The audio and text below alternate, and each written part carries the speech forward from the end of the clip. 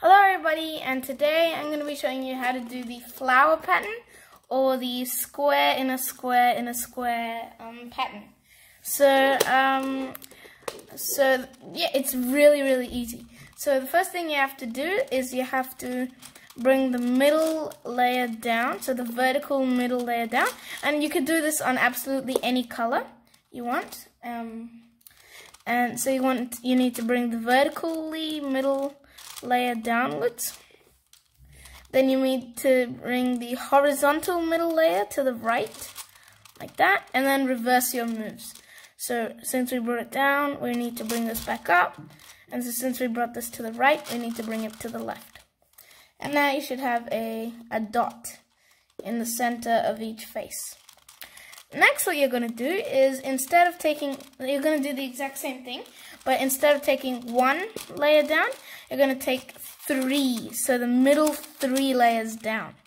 So the vertically middle three layers down, and then you're going to take the vertically three horizontal layers across, and then you're going to reverse your move. So take, since we brought those three down, I'm going to bring those three back up, and since we brought them to the right, we're going to bring them back to the left. And there you go, you have your flower pattern. But if you want to make it look like like the same colors inwards, then what you're gonna do is like like so you want to make the center color and the outer color the same. Um, so this is it. It's it's done. But if you, it's just for to make it look. I mean, if you want to make it look like these two are the same color, then you're gonna do the first algorithm we did.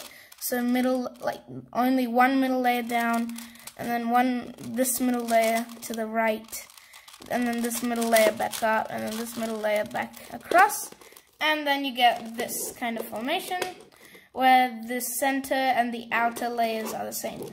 But you can do either one, I mean, it doesn't really matter. So, um, that's it for this video, guys. If you liked it, please make sure to hit the like button, which is right down there, as well as the subscribe button, which is right next to it. And, um, goodbye. See you in my next video.